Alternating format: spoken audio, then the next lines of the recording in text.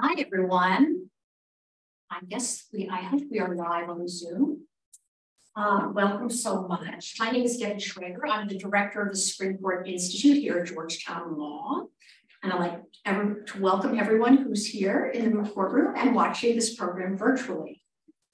The Supreme Court Institute is honored to co-sponsor this program with the Asian Bar Association of DC uh, the Law, South Asian Law Students Association, and the Dharmic Law Student Association. Founded almost 25 years ago, the Supreme Court Institute is best known for our report program, which taps into the expertise of faculty and outside practitioners to prepare counsel for oral argument before the Supreme Court. SCI, offer, SCI offers its reports as a public service and at no charge and irrespective of positions taken by counsel, reflecting a core commitment to the quality of Supreme Court advocacy in all cases. We also sponsor educational programs such as this one, focusing on the Supreme Court, uh, the work of the Supreme Court and cases of the court past and present. I would like to thank this very distinguished panel. I realize I'm not standing back far enough to be seen. I just realized that. I apologize virtually on Zoom. Uh, as I was saying, I would like to thank this distinguished panel for participating in this event and also thank SCI Assistant Director Cal Goldie and Georgetown Law Event Coordinator Claire Sanfilippo for their invaluable help handling many logistics. Just a small bit of housekeeping. I would like to remind everyone in the courtroom that this event is being live streamed on Zoom, and we will post a recording of the program on the law school's YouTube channel. I also ask that you refrain from eating and drinking anything other than bottled, bottled water while you're in the courtroom. We like to protect this carpet. Um, I am now pleased to introduce our moderator for tonight's program, especially pleased because he is a JD candidate here in, at Georgetown Law Center. Ashwin Ramaswami, I hope I said that right, close yeah. enough, is the John is from Johns Creek Georgia, and holds a BS in computer science from Stanford University. He works at the intersection of technology, law, and policy, and his interests include digital humanities, religion and spirituality, and the South Asian American experience. At Georgetown, he is president of the Dharmic Law Student Association, which comprises students from the Dharmic traditions, religious, spiritual, and philosophical traditions that are centered around the concept of Dharma, including but not limited to Buddhist, Hindu, Jain, and Sikh traditions. Equally impressive is that this program is happening completely at Ashwin's initiative and leadership, which is no small feat for a busy law student. When he asked if SCI would help host the event, it was an immediate yes. I am personally grateful to have played a small part in facilitating this important conversation.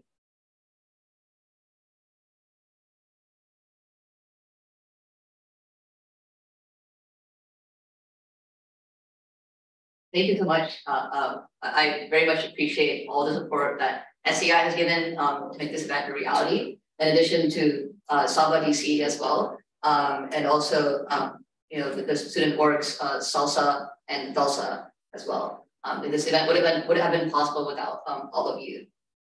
So I'm going to start with a quick introduction to uh, who and what we're talking about, um, and then introduce our panelists here. So uh, we're talking about um, Bhagat, Dr. Bhagat Singh Thind um, and his story.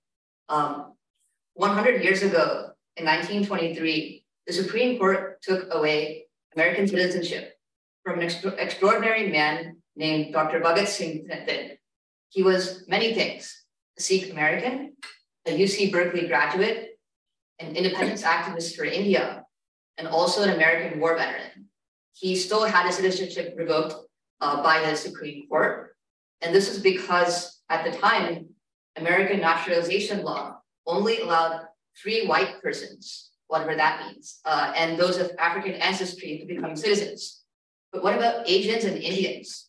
Are, are they, were they white, black, or neither? Uh, they didn't really fit into this whole uh, dichotomy.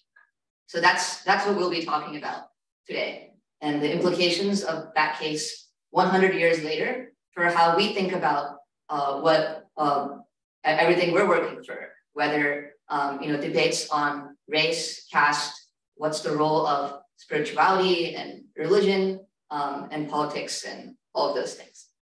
So uh, I will introduce our distinguished panelists here. Uh, so first introduce um, Mr. Uh, Sim J. Singh uh, Attariwala. He's the Senior Manager of Policy and Advocacy at the Sikh Coalition. His work focuses on uh, grassroots and national advocacy against uh, various issues such as hate crime, uh, workplace discrimination, and racial profiling. Um, he has testified in Congress, quoted in various publications, and presented remarks in national conferences around the issues which he and his organization advocate for from. He's also a uh, graduate of Georgetown Law. He holds his master's in law from Georgetown. Um, and he also uh, is an active member of the South Asian Bar Association of Washington, D.C. So thank you for being here. Thank you, Ashwin. Yeah. The next panelist is Professor Sherally Munshi. She's professor of law at Georgetown University. Um, she earned, earned her JD from Harvard Law School and a PhD in literature from Columbia University. Professor Munshi has studied and, and done a lot of scholarly work on Thind, in this case, extensively, and has an article on the contemporary relevance of Thind in, in the Ethnic Studies Review.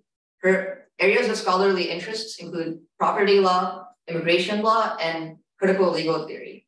Um, her writings appeared in various places such as the Yale Journal of Law of Humanities, the American Journal of Comparative Law, and Harper's as well. So thank you for being here, Professor Munshi. Finally, we have uh, Mr. Tejinder Singh. He's a, he's a go-to appellate advocate for plaintiff, plaintiffs, including various folks, including whistleblowers, victims of terrorist attacks, uh, and civil rights, uh, victims of civil rights violations. Um, he's done, before joining Sparacino PLLC, where he is now, he was a partner at the elite Supreme Court appellate, appellate litigation boutique, Goldstein and Russell PC. He made history as the first turban Sikh to ever argue a case before the Supreme Court of the United States. Um, in fact, he's just finished arguing the Supreme Court case yesterday. Yes. he's also developed a very deep understanding of the law. And I've heard that uh, Supreme Court Justice Elena Kagan has described him as an awesome lawyer. Thank you for being here. All right. So I think uh, let's get started. So I wanted to see if we could first start with a um, just an introduction as to what, what is the whole case about? What was kind of the, the main issue in the case uh, before we start you know, digging deeper into it? I was wondering if Professor Munshi, if you could talk a bit to that. Yeah, yeah, okay. So this case, the Bhagat Singh Thind versus United States, was decided in 1923. So at that time, um, the question that the court had put before itself was whether um, the court's language, a high caste Hindu from Punjab, um, was racially eligible for citizenship, right? Because this uh, citizenship at the time was restricted to free white people. So the Naturalization Act of 1790, one of the first you know, first acts of a revolutionary Congress was to restrict citizenship to white people, right? Um, after the Civil War, Reconstruction, that language was amended to extend citizenship to emancipated Africans. So it was it, uh, it, the language about uh, restriction was amended to embrace descendants, African African Americans and descendants from uh, of of African Americans, something like that, right? But the point is that that language was um, adopted, right, explicitly to ex exclude Asians from citizenship, rather than simply strike out the racial qualification for citizenship, right? The purpose was to sort of exclude Asians from citizenship. But the Naturalization Act uh, posed relatively few hurdles to immigration until um, the turn of the 20th century, when a greater diversity of immigrants were coming to the US from, you know, the sort of darker parts of Europe and also Asia and Arabia. And then under the pressure from various labor unions and others, courts started adopting a more restrictive interpretation of white, right? So the, before then, a lot of Indians had been naturalized, right? The Naturalization Act didn't put any barrier, right? But, you know, uh, during this kind of moment of heightened nativism, courts are adopting a more restrictive interpretation of white. So before it then comes before the Supreme Court, uh, before the, the, Supreme Court, um, the Supreme Court also decides another case involving a Japanese immigrant, uh, immigrant named Kyle Ozawa. Okay, and this uh, this particular fellow, right, was arguing that he was qualified for citizenship because actually his skin looked relatively white, right? If you, he said, if you sort of lift the sleeves of my, of my jacket, you'll see that my skin is relatively white. But the court rejected this argument, instead appealing to a kind of racial scientific language, um, and argued that, you know, what we mean by free white people are Caucasians. Okay, so then Penn came along and said, actually, under race science, you know, evolving race science, I am from the Caucasus, descended from the same places as European, you know, Europeans in the United States. And then at that point, the court um, rejected the argument, clarified its holding to say what we mean by Caucasian is what the average well-informed white American means by Caucasian, right? So part of what's astonishing about this decision is that the average well-informed American becomes invested with this power to determine membership, right? Citizenship and belonging within, within a kind of national family. Um, and so, you know, so this is so so this is what the case has largely come to stand for. I think the racial inscription of difference, right, when it comes to the Japanese, Indians, but perhaps Asians more broadly, right, and the the racial disqualification um, from citizenship, right. I think we can complicate that narrative, right, but that is um, what the case, I think what the case, the language of the case does. That's great. And, uh, oh, go ahead.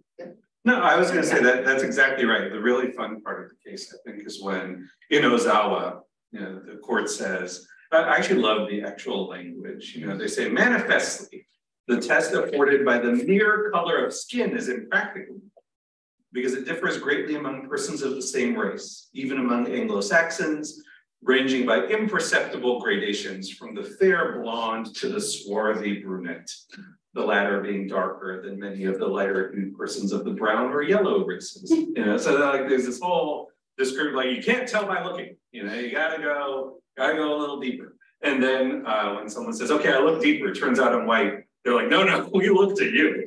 Uh, definitely not. Um, and so it's a nice, it's an interesting flip flop uh, that sort of draws into focus what's going on. Another interesting fact is that both of the decisions are written by the same justice, uh, George Sutherland, who had just been appointed to the court and who was himself actually an immigrant. He was born in England. Um, so that's, uh, you know, nice move from a fellow. Yeah, I, I was curious, I was curious, Mr. Singh, if you could talk more about um, about the composition of the court. At the time, there was Sutherland, there was Taft. How did how did that kind of affect how the court thought of things, and maybe you know how how is what they did there still maybe good law today, and how does that affect how we still think about you know legal categories today? Sure. So the Taft Court was it's, it's actually a pretty interesting time in the court's history. Uh, the Chief Justice was Taft. Um, and Sutherland uh, was newly appointed, along with a few others who uh, there were four justices, quite conservative, who came to be known as the Four Horsemen. And what they became famous for was striking down New Deal legislation uh, as uh, Democratic administration tried to sort of get the economy on their feet.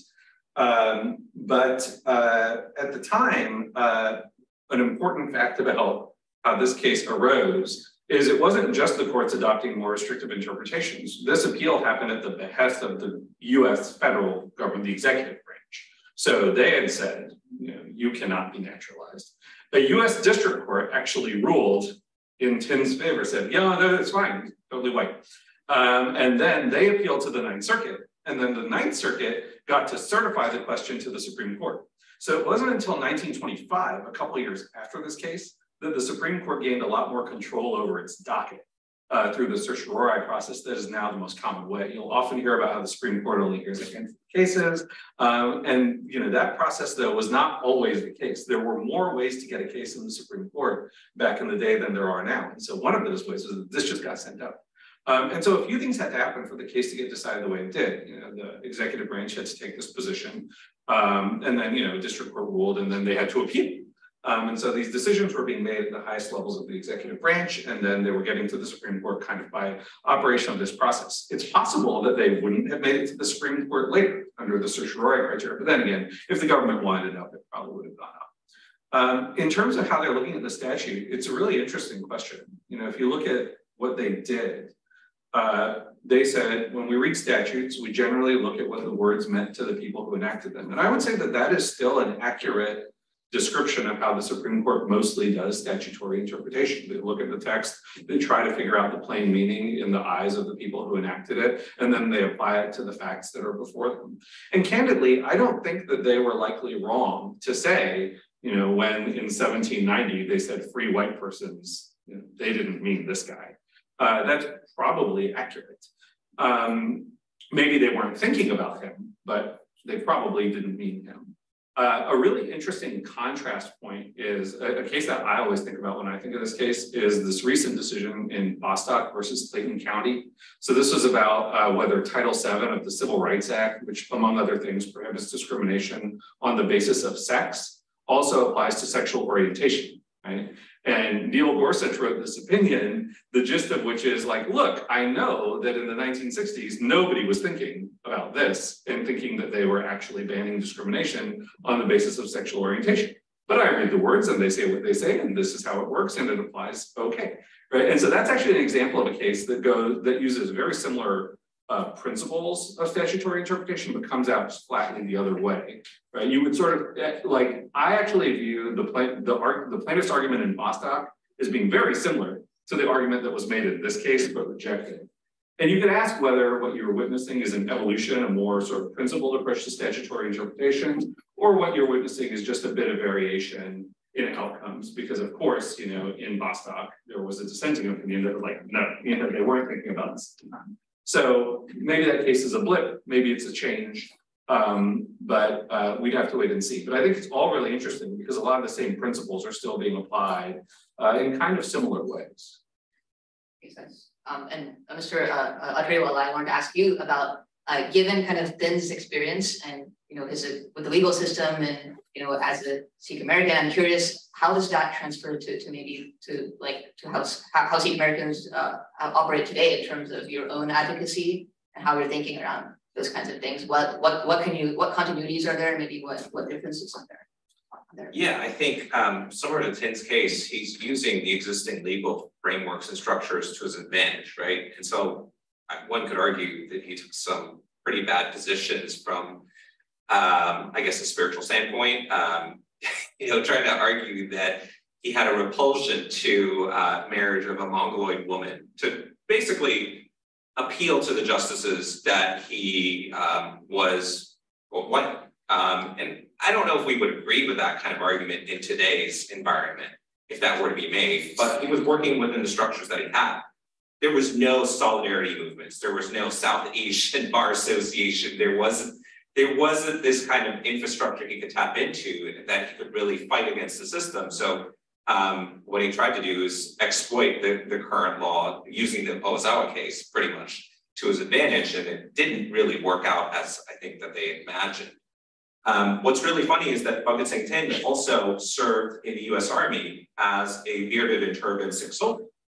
And that wasn't an issue back then, but then in the 1980s, um, the Reagan administration decided that religious articles of faith were no longer allowed in the armed services. And so Sikhs were not allowed to serve in uniform with their articles of faith. Um, this also affected Jews, Muslims, many other religious minorities. And we've had to essentially litigate those kinds of issues. And we are still litigating today against the Marine Corps on this very right to allow Sikhs to serve in the uniform. Um, the US Army has allowed it after we sued and were successful in that litigation. Um, we continue to see employment discrimination issues. We continue to see um, PPE, for example, has become a hotbed issue for our community where we're not um, allowed to be employed in certain positions because there you can't have a fit seal test for an N95 mask. So doctors, first responders, and the like were basically told to shave their sincere, their, which was a sincerely held religious belief, um, or be fired. So it's really just choose your religion or choose your job. And that's really problematic. And it doesn't just impact Sikhs. I mean, we've got racial uh, issues with that as well. There's a painful medical condition that's uh, involved with that that affects a lot of um, Latino and Black men. And so we're accommodating one group of people, but we're not accommodating another group of people who just on the basis of their faith are being told that like, no, you can't do that. and so we continue to see these kinds of systems that we have to work in, but um, it's just really interesting that the Bhagat Singh Thind case also shows us that immigration isn't, um, I think, or citizenship is not a concept that we can take for granted. And I'm sure we'll get into that later in the discussion. I don't want to get ahead of that, but uh, that I'll just leave those remarks there. Yeah, it makes a lot of sense. Um, and I think just to build on that point, like about citizenship and thinking about colonialism, immigration, how does this all fit in with maybe what was going on at the time? So we know, for example, Thind was heavily involved in the anti-colonial movement. He was working on behalf of Indian independence. So I was curious if Professor Munshi, you could talk a bit more about that and how that relates to what happened in this case. Yeah, yeah, and I think, um, you know, I think that, uh, you know, on an occasion like this, where we're sort of um, commemorating the hundred year anniversary of this case, maybe most of us are sort of lawyers, I think it's it's important to um, keep in mind or to be sort of like vigilant about what becomes visible through the language of the case itself, which is really limited to the construction of racial legal categories. And I think that's a lot of the way in which this case has been sort of written about within the legal discourse, right? But it's worth recognizing what that project eclipses right, about this particular history. So a lot of, so as you mentioned, Thind was part of this radical anti-colonial labor movement, anti-colonial, anti-capitalist movement. And it was really that radicalism, right, that form of political dissent that brought him to the attention of the federal government, and not just the federal government, also British spies, right? Um, who, you know, who recognized the threat that this kind of anti-colonial, anti-capitalist radicalism presented to a project of settler colonial capitalism right? So just some background here. So Thind came the early, you know, he came uh, 1913, something like that. Um, there's a brief period when group, you know, a few hundred, few thousand um, Indians are coming to the US. And they're mostly laborers who are finding work in the West Coast, kind of filling ships manifests after Chinese exclusion. So, right, just doing the work um, work, doing the work that you know other Asians had been doing before Chinese exclusion. And then a number of them also come as political exiles, already active in an anti-colonial movement, right? And part of what's extraordinary about this Gadar movement is there is this unlikely coalition between these student laborers, or sorry, these laborers and these students, and some of them are student and laborers, like Thind himself. So as you mentioned, then goes to University of California um, and becomes part of this kind of like group of political, political activists. And what these guys are doing is really synthesizing the kind of anti, a, a kind of anti-racist politics because they recognize that they are subject to racialized discrimination and also a kind of labor politics, right? Recognizing that their colonial status also renders them more vulnerable to um, exploitation, right? And um, and so again, so it's it's Thind's involvement in this in this Gadar movement. He's speaking uh, across the Pacific Northwest, organizing laborers, right, circulating um, this this. Uh, it's like a newsletter, the Gadar newsletter, which circulates all over the British Empire, right, sounding a call for you know embracing a kind of anti-imperial politics, and it's this kind of involvement and this uh, you know, radical heterogeneous movement that really is the menace. It's not his hue, right? So as much as this case is sort of like remembered as a case, I think about his hue, right? I think what's what's worth thinking about is the way in which this kind of anti-colonial politics becomes eclipsed um, by the language of the case, and perhaps like a kind of like anti-racist politics that sort of dominates our um, our thinking about some of these histories now, right? Right? Um, I think it's also uh, another really interesting part of the case is um, as Dr. You mentioned a, a, bit about caste, right? So he mentions that he argues he's Caucasian because he's a high caste of full Indian blood and, and there's, a pure ancestry and descent there. And I think to me, it's just really fascinating how um, basically in, in, American law, we have the idea of caste for over 100 years, like, uh, you know, written into the Supreme Constitution. So it's it's, you know, as much as it's maybe, you know, a, a, concept that we associate with South Asia, it's also very much an American concept and kind of forms the, you know, cornerstone of a lot of our law in terms of who is white and who isn't.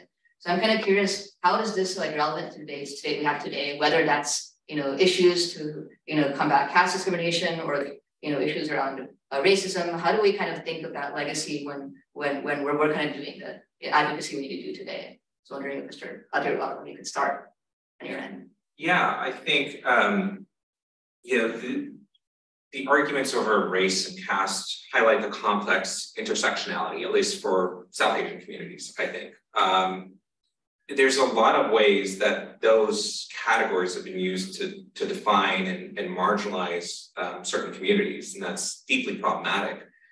Um, and it, I think that the conversation that, that uh, Mr. Singh has, has, talked about and Professor Munshi is that there's this reminder here that in the case that the idea of race is um, some people view it as a biological or genetic category, but not under the Supreme Court interpretation of that.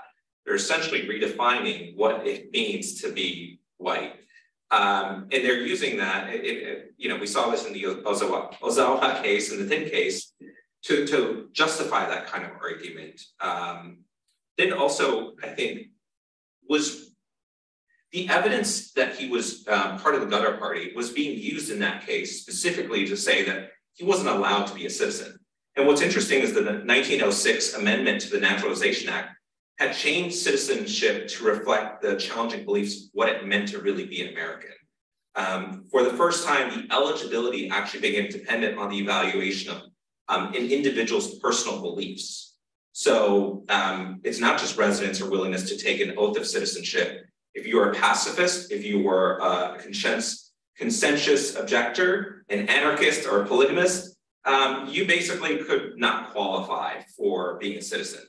And I think that the Ghadar party was being used uh, essentially as evidence to preclude him from being a citizen. Um, but what's really interesting though is let's look at the opposite side. If he faced deportation, what would happen to this individual? Like many individuals, they would likely face potential execution for their involvement in the Ghadar party, um, because that's pretty treasonous according to the, the colonial empire. So there was a lot riding on the line for, uh, I think, Thind and so he had to argue um, to basically avoid death. Overall, I think the, the case documents um, show that social justice and equality in the United States need to continue. Um, and we have to find ways to deconstruct intersecting systems of race and caste and other forms of oppression um, that continue to shape our lives. I mean, we can look at what's happening today, I think, as potential echoes of, of the Thind case. After the Thind case, uh, many Indians who gained US citizenship were actually stripped of their citizenship. And um, the Department of Justice then initiated a bunch of denaturalization proceedings against about 69 people, mostly Sikh men at that time, um, dispossessed them of their land and leases. Um, and what's also just kind of interesting in, in some of the history around this is a lot of Indians at the time married US citizen women. And if their men were um, denaturalized, that meant that also the women were equally impacted and they were rendered stateless. Even though they were born in the United States, they might have been white women, um, it didn't matter. And so we, we've just kind of seen this targeting against the various communities. And today, I think that legacy of insecure citizenship remains alive and well. Um, in the 1946 Luce-Celler Act, um, you know, we saw the quota of up to 100 Indian immigrants and um, citizenship for resident aliens, and Indians were barred from citizenship unless they were born in the United States, right? In the Obama administration, we saw denaturalization tools, um, and the Trump administration took this to a new level. In 2018, the Department of Justice uh, launched this Operation Janus's second look, and basically targeting South Asians. And when you dig into the case, you see a troubling pattern of immigration officers accusing individuals of um, using their nicknames um, for alleged immigration fraud. With Singh and Kaur, common law's name for Sikhs, um, a lot of mix-up happened because of the case files not differentiating between people, um, multiple fingerprints being digitized for one person, for example. Um, and it's just kind of, we, we see this pattern and we saw what happened in Operation Janus. They scaled up to 315 100,000 potential flags, and second look added about over 700,000 flags for individuals for potential um, citizenship revocation or denaturalization process. and it, they, it's kind of hard to also just ignore the Muslim ban in 2017, um, where we saw the intersection of race and religion start to impact who was being allowed into this country. And I think it just kind of reaffirms, you know, who we want to see? Who is considered an American? There's this perpetual foreigner myth within our communities that's deeply troubling. Yeah, well said. um, so I want to also, um, I want to ask you, uh, Mr. Uh, Tejinder Singh, uh, about, um, you know, thinking like uh, you're the first uh, you know, turban Singh to ever argue a case of the Supreme Court. So, so you're very much a trailblazer in many aspects. Um, how is, can you talk a bit more about the kinds of experiences and challenges which you have faced in, you know, in, in the legal profession and maybe how this experience of Thind is a continuity of that, whether that's what you're facing or you're seeing the community face, whether it's migration, trying to break into certain kinds of positions. Um, how do you kind of deal with that? Sure. Um, so this is a complicated subject because uh, the issue doesn't only play one way. Um, there is a sense in which I think being a member of a very visible minority group is uh, a substantial advantage. Um, you know, if you are good at your job, you are a very memorable face. Uh, and you can uh, leverage that. And uh, you can also help other people very easily just by being good at what you do. Um, it's a it's a wonderful way uh, to lift folks up, even people you've never met. You can you can do them a lot of good just by by doing good work.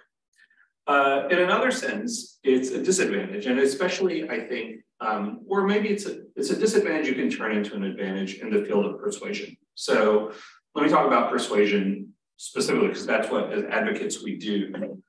Um, it is almost impossible to get in an argument with a person and change their mind, right? If you and I get in an argument and I say you are wrong and I am right and you should believe what I believe and stop believing what you believe, you will likely become defensive, you will stop listening, you will not change your mind, right? The much better way for me to convince you of anything is to actually convince you that what you already believe is in fact what I believe, right? And so to try and build a base of empathy so that my position feels natural and intuitive to you, not something that I can bludgeon onto you, but something that you embrace and believe you always embrace. Now, this is not easy to do the most, um, the, and so a lot turns on whether you have a natural foundation for empathy, right? So I'll take us back a few years. When I was arguing my first Supreme Court case, everyone only really cared what Justice Anthony Kennedy thought. Because in any case that was going to be uh, controversial, five to four, he was overwhelmingly likely to be the vote in the middle. And so like Kennedy whisperers were the most valuable people in the entire Supreme Court bar.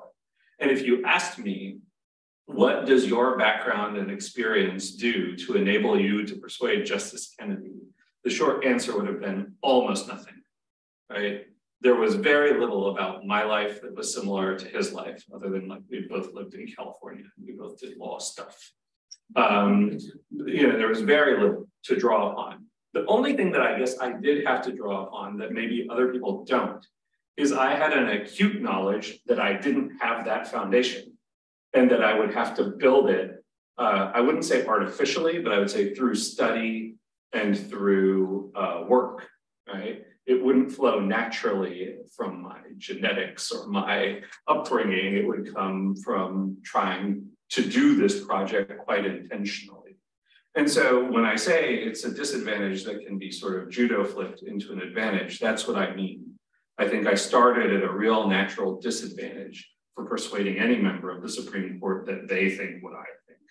Um, because I did not come from the same high school or the same, you know, general background. I'm the first, uh, you know, first generation immigrant, first person in my family to ever do anything law related. Um, and so for me, it was my awareness of that that gave me the ability to launch a career that made sense by saying, okay, well, now I have to sit down and I have to read everything that you read, and I have to learn how to think like you.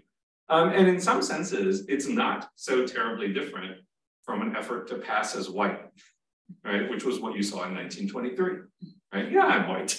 Um, you know, it's not so different, right? It is uh, suspend your own upbringing, suspend your own perspective, replace it with the perspective of the person you're attempting to persuade, um, and then see if your arguments work, right?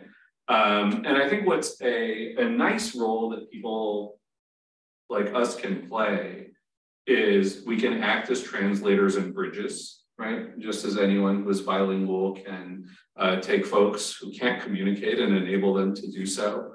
Uh, and so a lot, I think that a lot of the value we can add is in going out into the world, finding people who could not talk to the Supreme Court and doing it for them because we can understand them and we can understand the justices and we can have both of those conversations. So I tend to view my role as almost like that of a translator um, or a conduit to bring perspectives that I can understand, but the justices cannot, and then cast them in a way that the justices can understand them. Uh, so that's a part of my practice, and not just the Supreme Court justices, but like other courts too, right? I work in a bunch of them. Uh, but I think that that's how I would put it. That there is, um, there are ups and downs to this life, uh, and but once you understand the project, it's pretty fun. Wondering if Professor Munshi, you also want to talk a bit uh, about your experience in academia, just a bit briefly about how it's been as a South Asian, and you know. Um, Oh, and you know, it's taking in the place of my employment. Um, I'll tell you like a pleasure I take is teaching students, and I see a lot of my students here and um, have, you know, you were in my first Asian American Studies class. Some of you were here, were in the same class.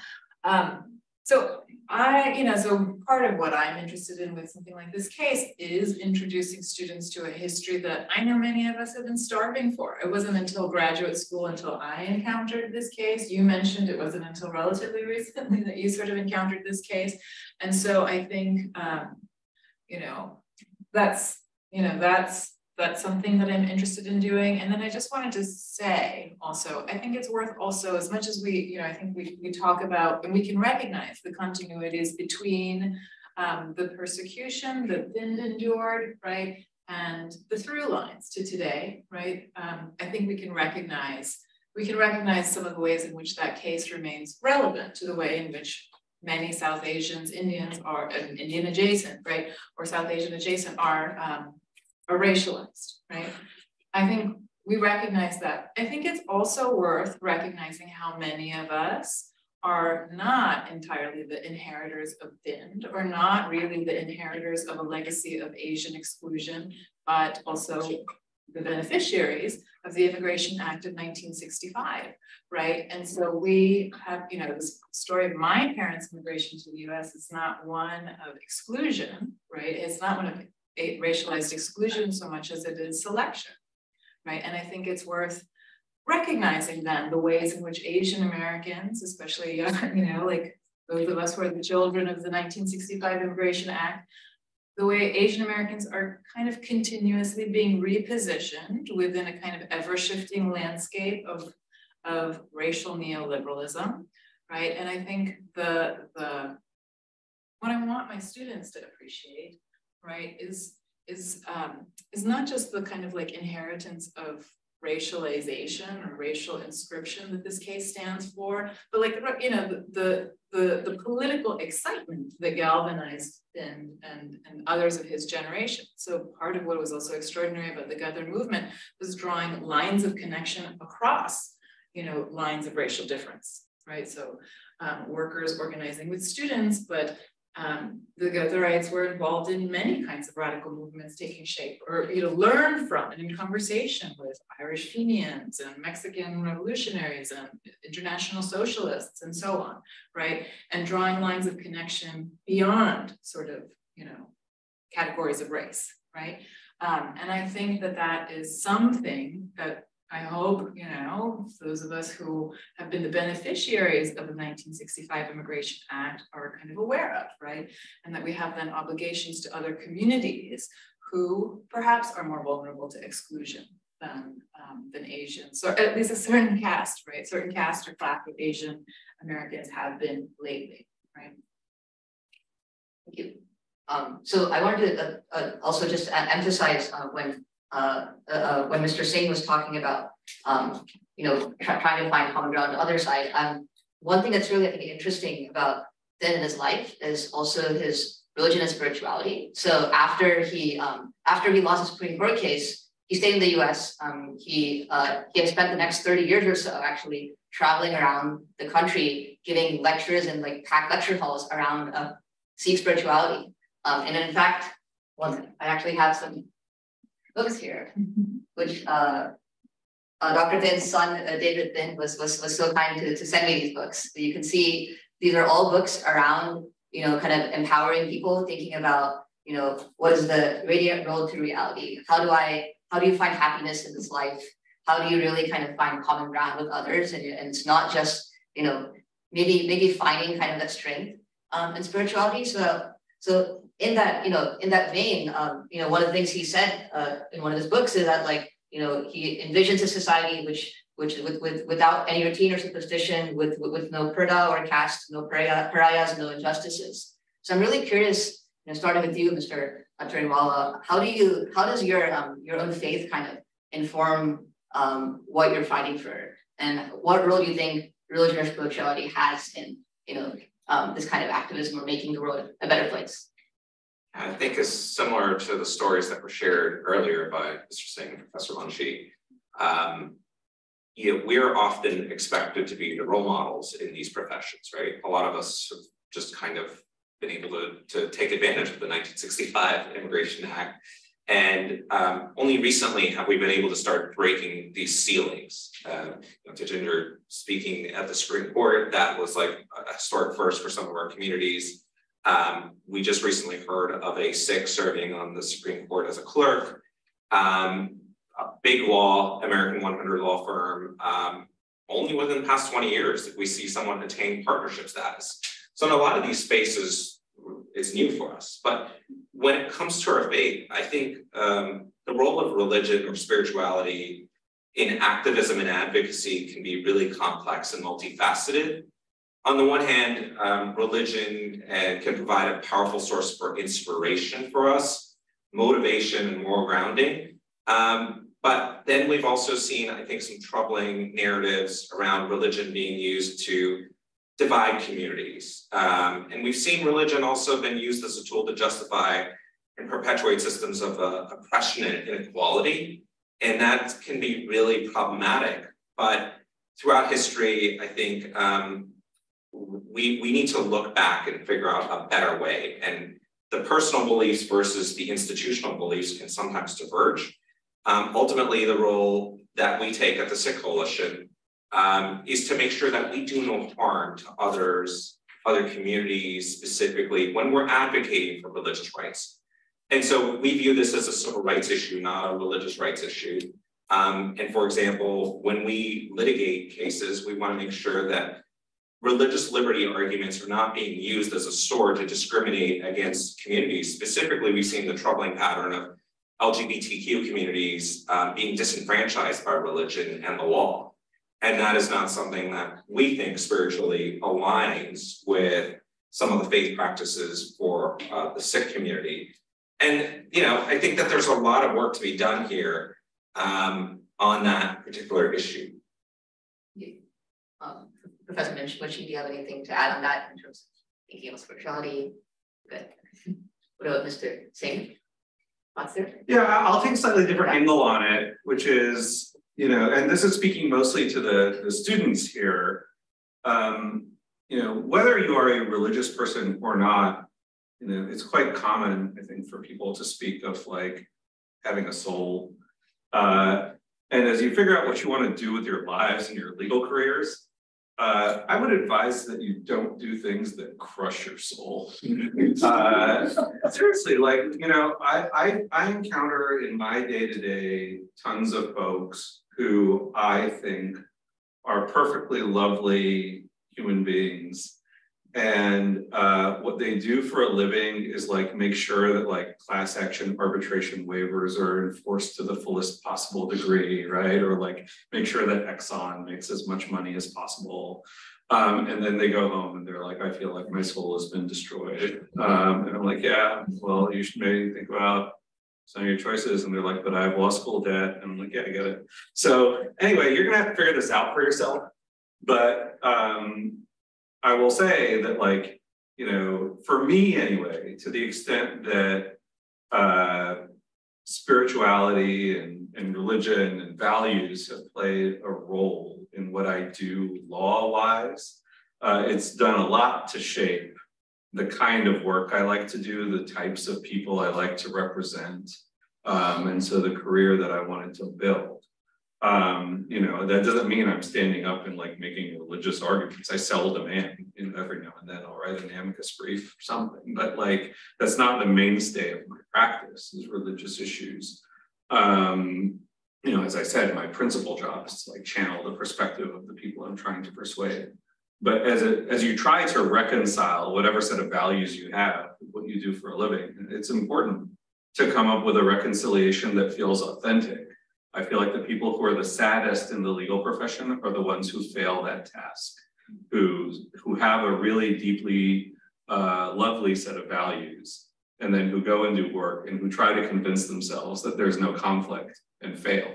Uh, those are the ones who I find who find themselves in crisis. So either get really good at convincing yourself that you're the good guy, you know, or actually be the good guy. Uh, those are those are that's those are the two paths to happiness in this line. Thank you. So I think finally we're going to uh, do some closing remarks, and Thind we'll have some time for Q and A as well. Um, but I want to just get from each of you maybe just like a one minute quick thing as to kind of looking forward. You know, how do we reckon this history? Kind of what's kind of the takeaway when we think about this case? How should we um, you know, uh, think about it, and is then really our history, or you know, or is it more complicated than that? Um, how can we use this as you know the best way to deal with the problems we're facing today? Um, Professor Munshi, want to go first? Yeah, and so I think I can, um, as I sort of suggested, and, and I think some of my last remarks, like I think when we're thinking about how to remember a case like this, right? I think it would be a mistake um, to to use kind of victimization of Thind to affirm something about a kind of like identity uh, forged through victimhood or something like that. And the part of the legacy of Thind that I I still find really exciting, right, is his own involvement with this with this Ghadar party. And you know, maybe later in his life he sort of shifted gears a bit, like many of his generation did, right, under the pressure of this decision. Um, but I think, you know, we can uh, look at other examples. I'm really excited by the example of, for instance, um, survivors of Japanese incarceration who draw lines of connection between their own histories of incarceration with um, other immigrant communities, right, who have been subject to family separation, and child detention, uh, other indigenous communities who share that kind of history. And I think like I would love to see South Asians also kind of making similar lines of connection across other kinds of communities.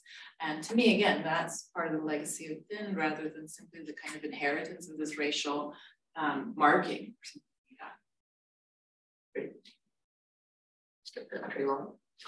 Yeah, I'd actually love to build on that. Um, it's just really interesting to see that that theme move forward. I, I feel like we all don't know enough about our history and we we need to learn the Thind case. We need to learn that the civil rights movement actually permitted us to have the freedoms and liberties that we have today and in order to, to emigrate to the United States.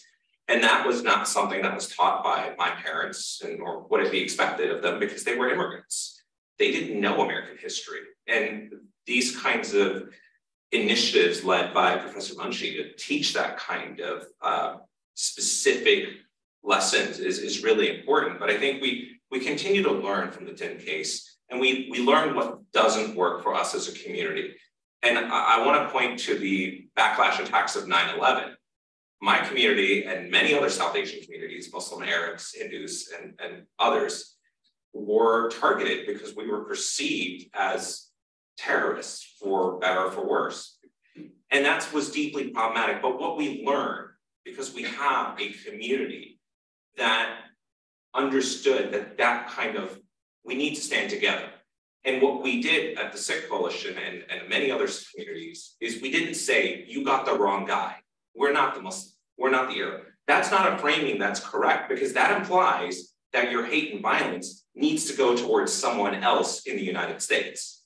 And that's something that I think we're building on those threads on how can we start to figure out how to like build those bonds within our own communities and even adjacent communities so that we can be stronger together rather than saying, ah, we're higher caste than you and you don't belong to be a citizen or not. And I think this history teaches us opportunities to, to overcome these challenges and find better solutions together. And you know, we have to continue to find ways to uplift some of these amazing achievements that our communities are doing as well, while also recognizing that the model minority myth also applies to us and it risks wiping out some of the marginalization, systemic structures that minority communities continue to face even within our communities. Are just not advantaged or privileged or weren't lucky sometimes to get to the positions that we are in today. And so to the law students here, I would certainly say just recognize how lucky you are to be where you are today. Um, and don't take it for granted. You know, we've seen the appointment of a New Jersey Attorney State General Gurbir Grewal, was the first turban Sikh Attorney General in the United States for state level. But he endured a lot of um, hate, comments, media attacks, and it just goes to show that people want to take away what we have, whether it's citizenship or personal accomplishments or achievements, and we just can't rest on our laurels. And it's a really difficult burden that we have to continue to bear. I guess the last thought I give is what, what the case draws into focus for me is, um, you know, the argument was like silly, right? Like I'm white, I found a way. Um, and the court rejected it. And I think that the idea that stands out most to me is that like, and it's it's relevant today too, depending on, I suppose, which side of the political spectrum you sit. You know, I, I, sitting sort of on the lefty side of the spectrum, have never had that much confidence in the Supreme Court is sort of the place where everything's going to work out. Um, and I think that's that's sort of more obvious today than it might have been five years ago uh, or eight years ago. Um, and I think that you know eventually uh, there's there's actually a nice ish coda to the story. He does get his citizenship. Uh, he gets it in 1935 after Congress says that all World War I veterans, regardless of race, can apply. So he finds another way. But I think what that illustrates for me is that, like, you know, if you want real changes, um, you know, sneaking under the door the way he tried to do in court is the harder path generally. Um, the, the better, more durable path is, you know, make the real change that works for everyone. And so we've heard about Immigration Act of 65, we've heard about other things that are, are promoting uh, good outcomes across the board. Um, I think that that's really the project uh, that we ought to be focused most on. And there are certainly lots of powerful ways to work on that with a law degree. Um, you know, I'm not suggesting that the courts have no role to play in this or that lawyers have no role to play. Um, but I think one of the big lessons of this case to me is that like, uh, you know, it's, it's a good illustration of how even a clever argument, you know, uh, thoughtfully presented will not necessarily get us to where we need to be. What we need to be doing is changing minds uh, about the underlying attitudes of who belongs and who doesn't. Uh, excellent point. Um, just to add to, to, that, like even in 1946 was when there was a law passed which actually allowed, um, you know, uh, Indian Americans, South Asian Americans to actually uh, naturalize, and that was really only passed through a lot of political advocacy from folks in the U.S. But a lot of it was based on the idea that like India is becoming independent, we have to like maintain decent relations with them. I think this goes back to the anti-colonial kind of perspective, right? Uh, so um, when those when that anti-colonial movement was able to have some level of success, that's when these all these things are kind of linked, right? When India got its independence is when the U.S. was kind of forced to kind of change its laws as, as well. I think what's interesting about Thind is that you know later in his life too, he was he was supportive of you know these kinds of efforts. So he, he helped get that the 1946 um, act into law. Um, he also supported, uh, for example, the Dalip Singh Saund, who ended up being the first Sikh American in the House of Representatives um, in Congress as well. So I think that's a lesson we can all learn from that today. All right, well, thank you for talking. Um, and now we have time for Q&A. So I think a few minutes. So anyone feel free to raise your hand and ask questions. Yes. Uh, I'm sorry that I'm blanking on the name of the case. I think it might have been Gong Lum, Mississippi case dealing with school segregation. And I was wondering how uh, you may, any of you may see that as like connecting with this case in terms of Asians trying to sort themselves, figuring out how to deal with the literally black and white racial categories of America and, and where to fit themselves in.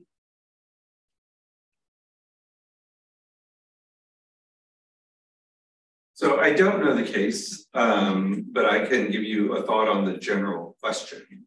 Um, I think as time has gone on, it's become quite abundantly clear that uh, you know what was a nation of only white and black and Native American people has become more heterogeneous, and that's created complications.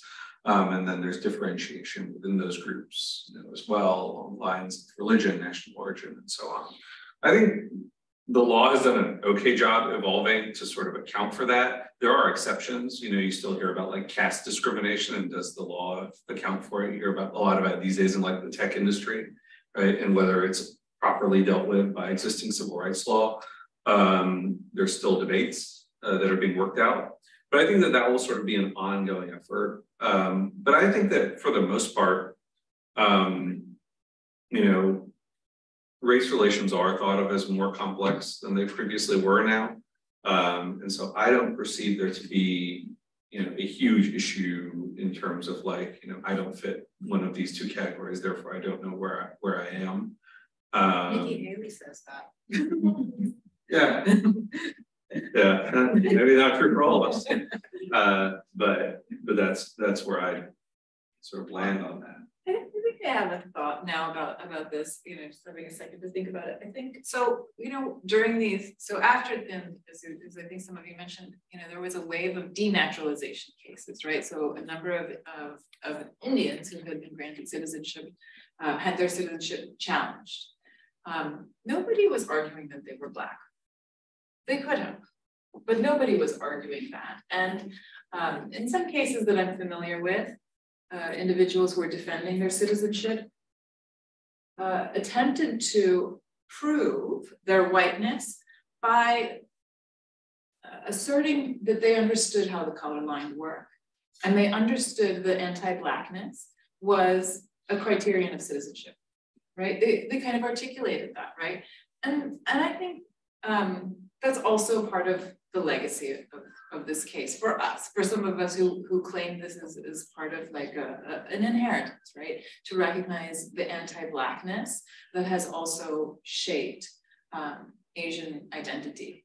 Um, and I think, you know, when we think about some of like what's relevant about this case now, and we have affirmative action case, you know, the Harvard affirmative action case coming down, again, I think like really the task for Asian American people like us, situated as we are, I think the task is to sort of really resist being situated in the way that we sometimes are cynically situated to um, discipline and devalue Black and other immigrant communities too. You know, the other thing that I don't see so much talk of now is Asian American communities, you know, as I said, and sort of like standing up to defend um, border crossers, right? And, uh, and, and others who are sometimes, who are really now the, the, um, um, the people who are most victimized by the 1965 Act, right? Yeah. Hi.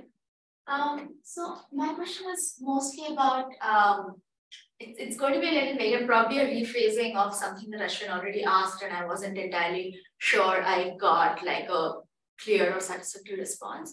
So when when you're talking about examining um, the legacy of this person who was obviously like a complicated person and we have you know we have acknowledged that some of the argument that he that he made would sort of be problematic in today's context but you know a lot of those arguments continue to be made in india today where you know lower caste people are being lynched every day as we speak based on those very similar sort of arguments. And today, when we are thinking about something like the Seattle, Seattle um, caste discrimination ban law, it's uh, there are so many groups. I mean, I know that several of you are associated with groups that supported that, but there are several Asian American and Asian groups that that were sort of like, no, you should not have this. Like this is not like this is like anti-Asian or whatever.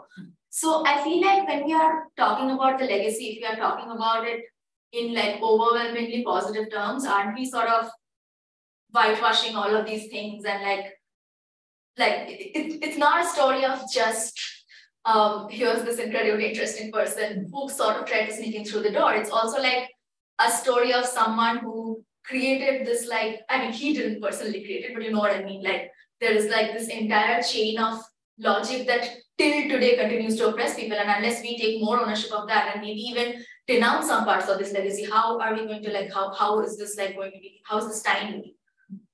I don't know if that question made any sense, sorry. Mm-hmm.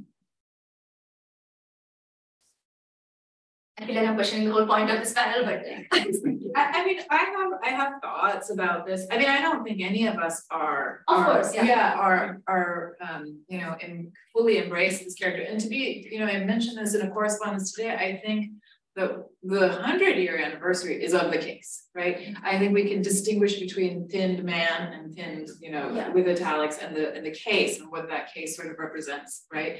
And I do agree with you, especially for like Indian Americans in the US. I think it's really important to sort of think about our relationship to this history, right? And, and to me, it's not, you know, there is no direct line of inheritance is part of what I'm trying to suggest, especially those of us who are the beneficiaries of an immigration system.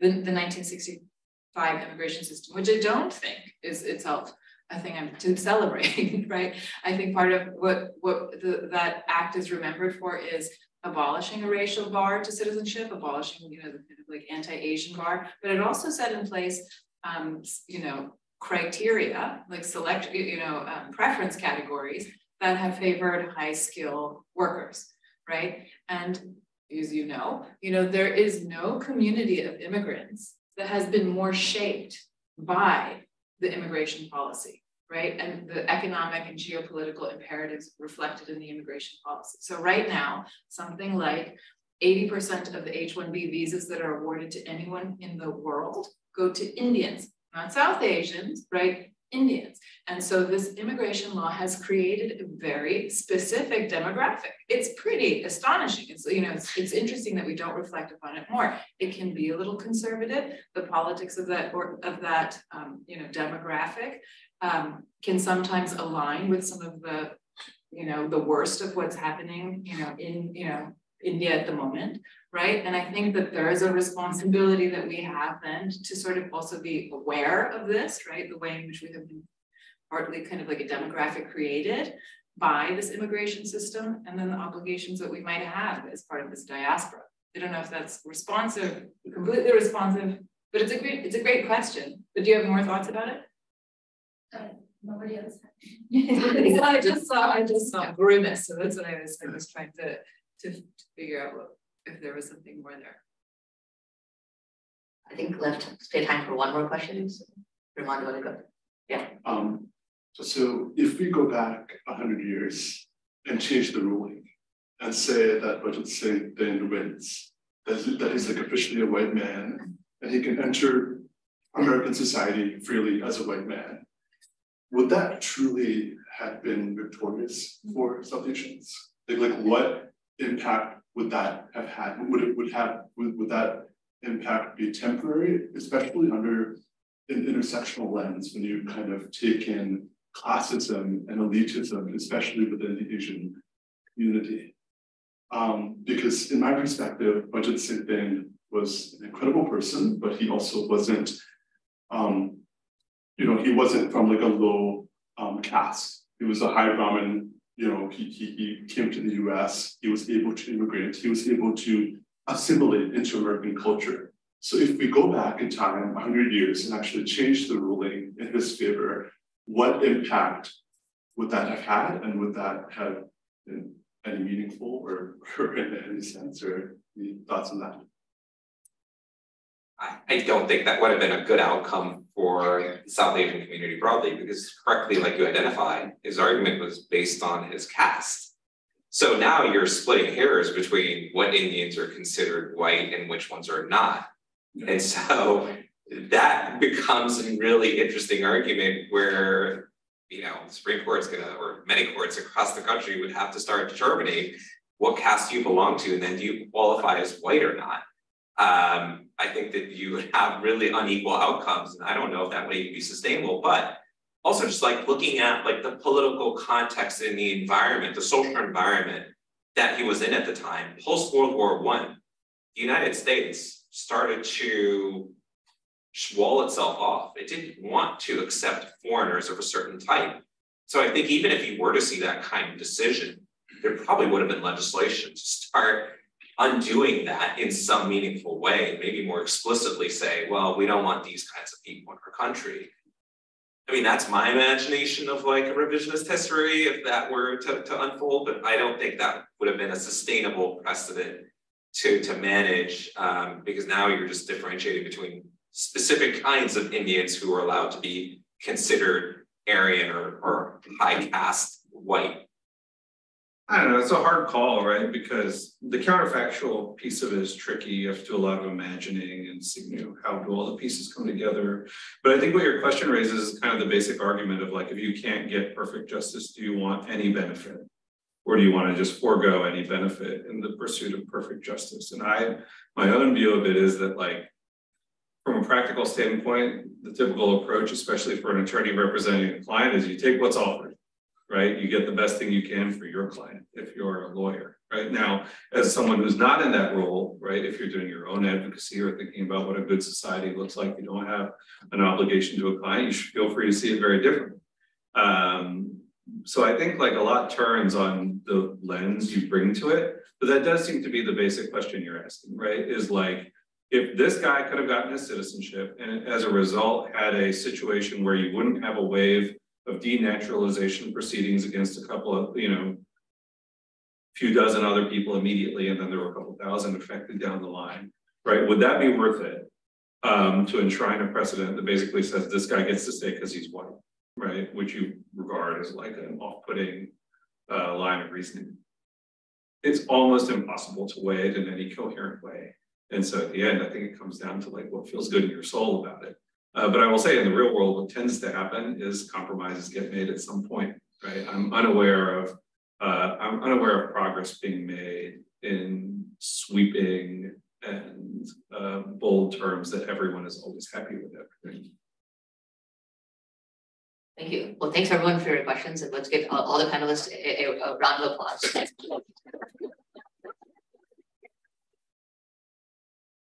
And uh, before we end, I want to invite uh, uh, Ravi from SABA DC to, to make a few remarks. Um,